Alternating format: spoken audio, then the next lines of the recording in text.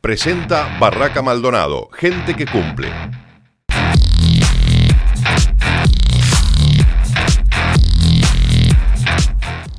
Segundo bloque de Más Motor. Un rally como el de 33 ofrece una variedad espectacular, no solamente para los espectadores, sino también para los medios de prensa, que eh, tienen muchos lugares donde registrar imágenes no solo hermosísimas del paisaje serrano, del departamento de 33, sino también de la espectacularidad de los autos al traccionar arriba de esos caminos que ofrecen eh, un vuelo tras otro. Nosotros decíamos un poco en broma, un poco en serio, eh, previo al rally este del año 2014, que si le poníamos unos árboles al costado pasaba perfectamente como si fuera el rally de Finlandia, más allá de que habría que hacer algunos cambios geográficos más, evidentemente, pero es un rally realmente sensacional. Debe ser muy difícil elegir un lugar determinado para poner las cámaras. Nosotros en la previa que hacemos con Julio Rocha detectamos 5, 6, 7 lugares en cada tramo, en un rally como el de 33, reitero, y después tenemos que escoger entre dos o tres porque evidentemente eh, con eh, la logística que estamos empleando por el momento, tenemos la capacidad de hacer las filmaciones que brindamos a ustedes en cada rally, pero sin lugar a dudas es una elección harto difícil.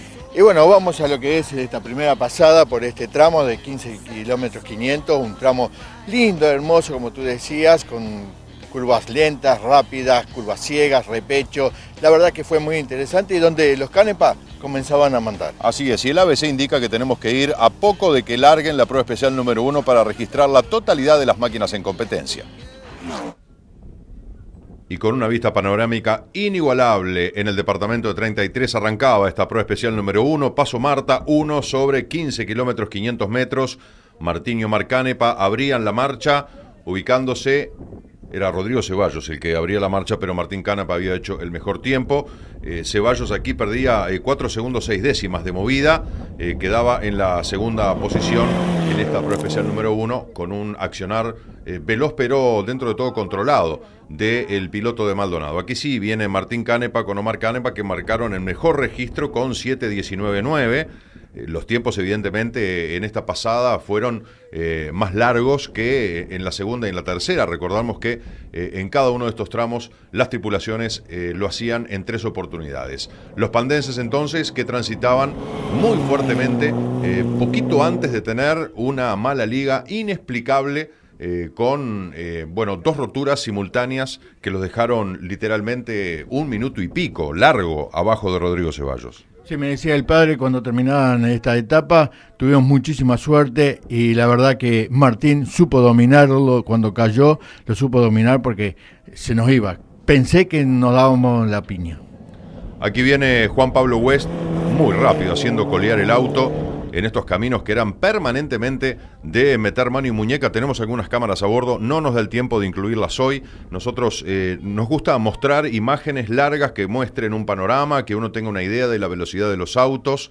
Eh, más allá de que de pronto a muchos le puede gustar la toma corta y espectacular, que también las hay, pero nos parece que eh, el transitar de los autos, la velocidad allí a mitad de camino, ese semivuelo que tenían, este coronar de esa loma con un paisaje eh, serrano hermosísimo, nos parece que es mucho más bonito para el disfrute de aquellos que gustan del rally.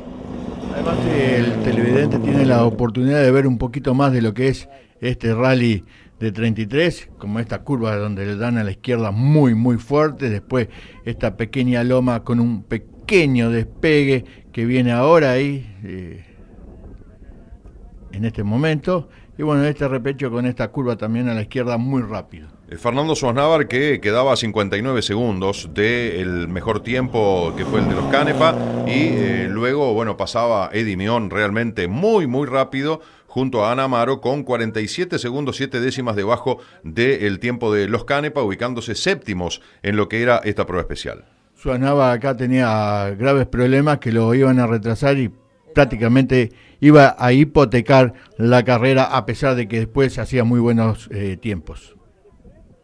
Y aquí ya transitando los que oficialmente estaban consagrados campeones, aunque faltaba la técnica final, pero ya eran campeones del RC2 Nacional.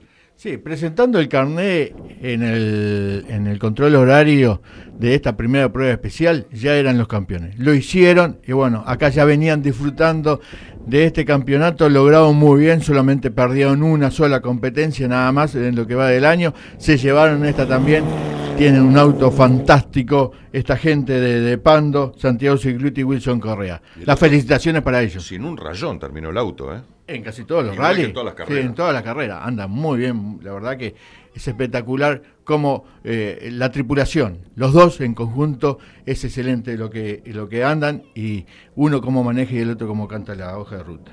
Y acá tenemos a Eduardo Capel, Leonardo Fernández, con algún problemita. Eduardo Capel que no le dejaba accionar eh, como correspondía. Y Fernando del Préstito, Martín Villete, que siempre se mantuvieron en un segundo lugar detrás de, de Sigluti y que eh, comenzaba a, estar en ese, lugar de escolta. Sigluti y Correa en este tramo marcaban el mejor tiempo con 8 minutos, un segundo, una décima. Aventajaban a justamente esta tripulación por 7 segundos 3 y a Capel Fernández por 30 segundos 8.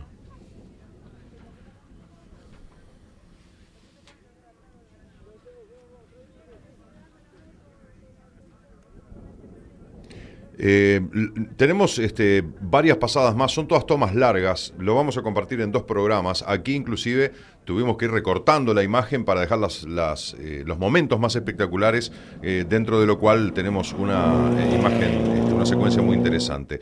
El turno de Fernando González con Pablo Rodríguez. Eh, que eh, inmediatamente después de pasar frente a nuestras cámaras abandonaban, no llegaban al final de la prueba especial número uno. Se quedaban en una curva, en una curva muy peligrosa, muy peligrosa, incluso Mion, que es el que viene ahora, eh, casi se lo lleva puesto, textuales palabras de él. Escuché cuando hacía las nota voz este, y decía, bueno, quedó en un lugar muy peligroso, le pasé rozando, casi me lo llevo puesto. Exactamente, y acá se confesaba Eddie Mion de que se había equivocado en algunas partes, pero que la navegante, su esposa, le había cantado bien, el problema había sido de él. Eh, veíamos ahora a Mion, hoy había pasado Beltrán, habíamos invertido este, los tantos, bueno, la tripulación que había pasado más temprano, la de Tarariras y la de Montevideo, y recién Eddie Mion, el turno ahora para Fontana y Fontana dentro de la RC4. Eh, tramo número uno en el que ya Arrieta y Puyol marcaban la tendencia de que iba a ser otra competencia muy, muy reñida dentro de su categoría. Eh, si ustedes recordarán, eh, en la largada simbólica lo hizo primero eh, Puyol, después Arrieta, después Fontana. Puyol y Arrieta pidieron de que se largara como estaban en el campeonato. Por eso ahora estamos viendo a Fontana primero, que es el que estaba primero en el campeonato, Arrieta y Puyol. Y después de 33, eh, cambian las posiciones dentro del campeonato, lo cabeza Arrieta ahora. Sí, exactamente, exactamente. Y acá tenemos la, la de Alberto final, Horacio Vaso, con una pequeña merma eh, de potencia, no le permitía marcar buenos registros. Todavía en carrera, los locales, Pablo Reyes junto con Federico Quintana, una lástima que la gente de, de 33 no hubiese llegado, ¿eh? tanto Lago como, como Rex no, no arribaron al final después de haber trabajado muchísimo por esta competencia. Rodrigo Dios junto con Juan Varela. En este rally lleno de lomas que de pronto nosotros nos poníamos del otro lado, los autos que venían medio silenciosos, era peligroso comerse la toma, ¿no? El caso de Rodrigo Dios es un auto que no hace mucho ruido y que cuando viene así detrás de una loma, eh, decir que acá teníamos una vista panorámica interesante con mucha antelación, pero hay veces que hay, imágenes eh, que asoman abruptamente desde el lomo. Eh, bueno, también el caso de Jorge Alfaro que está pasando ahora, otro 206 que no es de los más ruidosos. En cambio, el de Alberto Gallinal hace muchísimo ruido, es impresionante. Y bueno, acá tenemos a Nicolás Aguirre, Jorge Aguirre, como decíamos en la largada, con este Volkswagen que anda muy bien.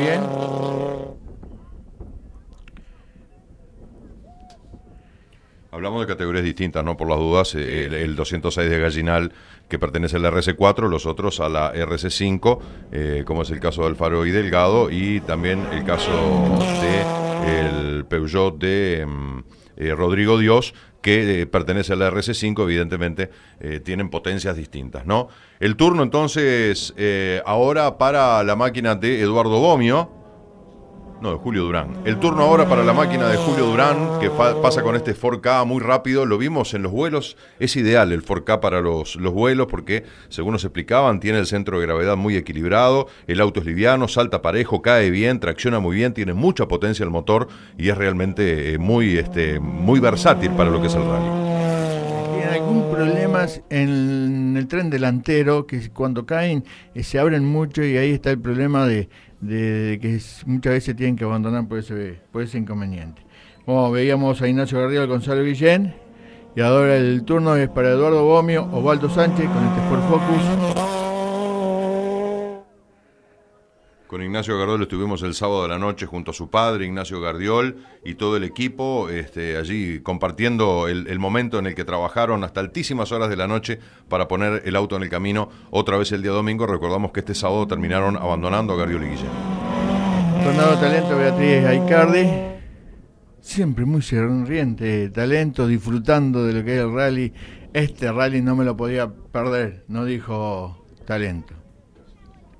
Y ahora el turno es para Fernando Cáceres, Darcy Fracheri, otra tripulación que, que no pudo terminar esta competencia. Yo dije 8. Y acá Patricia Pita, junto con Francisco Grinola. El auto acá no iba bien. No lo siento bien, nos decía Patricia.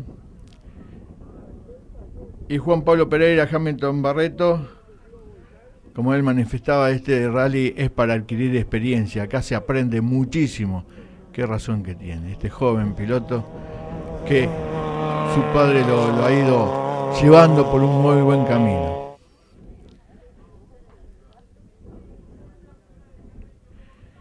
Y Nicolás Tejera, junto con Fernando Perdomo, Todavía acá no, un poquito más adelante ya eh, se le rompían los frenos, estaba totalmente sin frenos y así largaba el segundo y bueno, después están las consecuencias. Claro, no tenía frenos y cuando quiso accionar el freno de mano tampoco lo respondió. En un rally tan veloz y con curvas tan pronunciadas como este es absolutamente imposible. Rodolfo Cabrera es un piloto muy rápido, siempre anda veloz, eh, esta no fue la excepción, la del Rally de 33, de hecho, hizo un podio dentro de la categoría. Eh, bueno, una tripulación que anduvo muy bien junto a Gastón Fontao en esta séptima fecha del año. Y se va cerrando entonces eh, lo que sería la prueba especial número uno con el turno de Marcelo Erosa y Raúl Rébola, que también rápidamente eh, al final de esta prueba, allí Marcelo Rosa haciendo toque de luces para las cámaras de más motor, eh, tenía un, problema con un amortiguador que se les reventaba, le quedaba la rueda delantera derecha totalmente abierta y allí nomás, en el punto de largada de la prueba especial número 2, quedaban por el camino. Fernando Luciardo con Juan Vela que están haciendo, podríamos decir, sus primeras armas dentro del rally. Fernando Luciardo dijo que no vuelve más a la pista, que se va a quedar en el rally, que le encanta, al igual que Eddie Mion. Atento el rally porque sigue atrayendo pilotos de la pista, porque una de las cosas que yo diría de denominador común, dice, en el rally estamos dos días corriendo.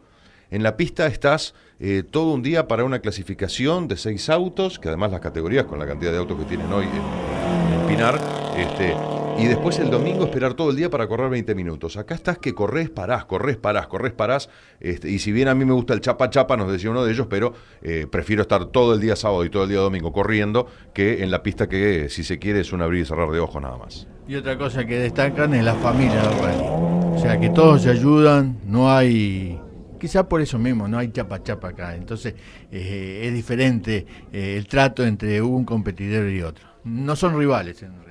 Exacto. Bueno, dentro de la RS2 Nacional recordamos que eh, Fernando del Préstito corrió con los amortiguadores que le habían prestado. No recuerdo en este momento quién fue que se los prestó, pero eh, se prestan cualquier tipo de herramienta o pieza del auto que necesite. En el cierre de esta prueba especial número uno pasaba eh, Javier Braida con Escudero, Ricardo Matiauda con Matías Medina y Fernando Ferrer con Juan Andrés Pereira. Espectaculares imágenes, pero tenemos muchas más que vamos a compartir después de esta pausa.